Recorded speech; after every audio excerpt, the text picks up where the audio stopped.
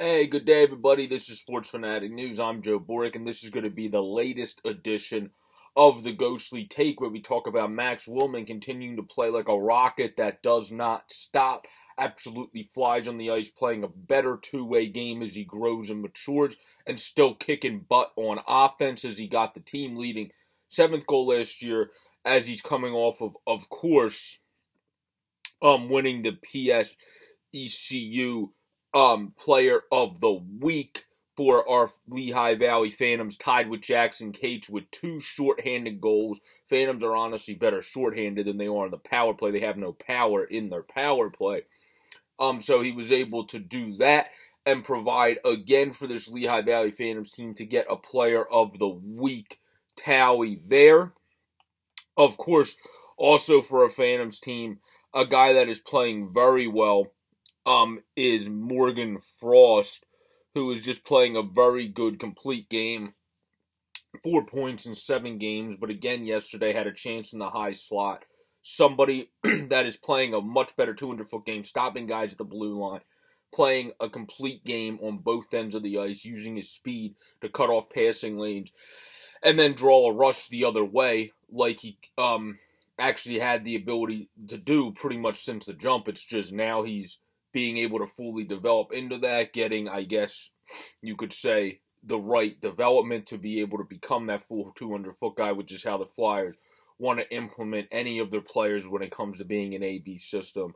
And most teams really want to implement a lot of players. If you look around the league nowadays, unless if you're just that sexy on offense, you don't typically have the one dimensional Phil Kessels um as plentiful anymore around the league when you look because even obviously a guy early in his career, and Alex Ovechkin didn't give a rat's petunia about defense, started really caring once Trotz got there once he won his cup. He's been actually much better at defense. And then obviously when I was watching the Capitals game the other night, he even worked his butt all the way back to get on an opposing rush. So he's a player that plays a much better complete game himself now.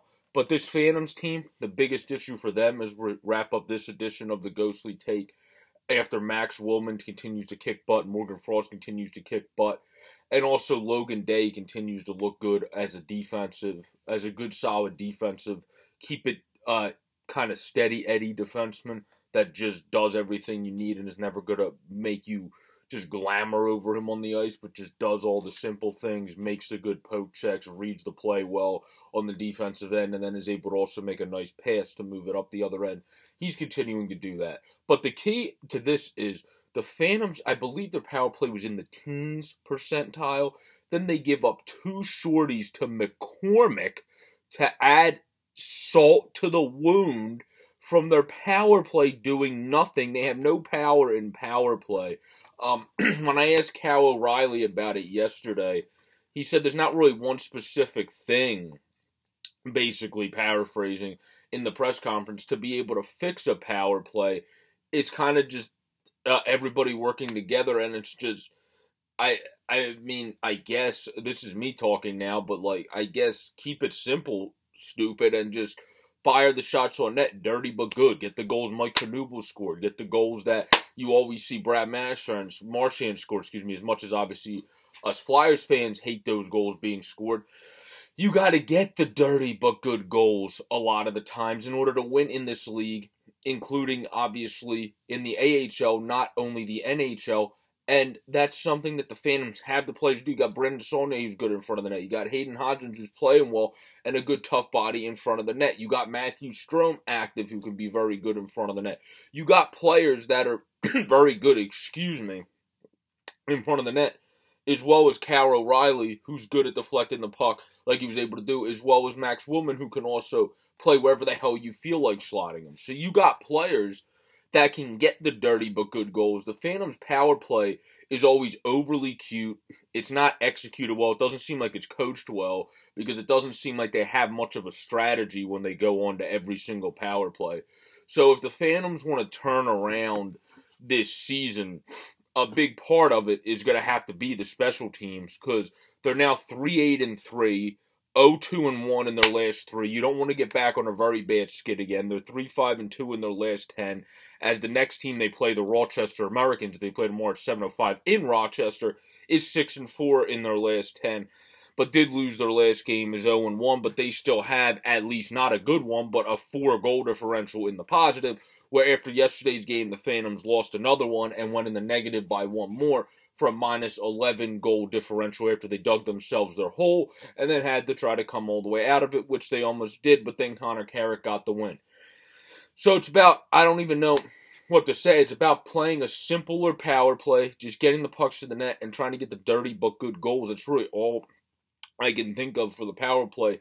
But it's easier, I guess, said than done. But it's also about just, I guess, strategizing better because when you watch the Phantoms power play, they look more dangerous on a penalty kill generating chances than they do on a power play.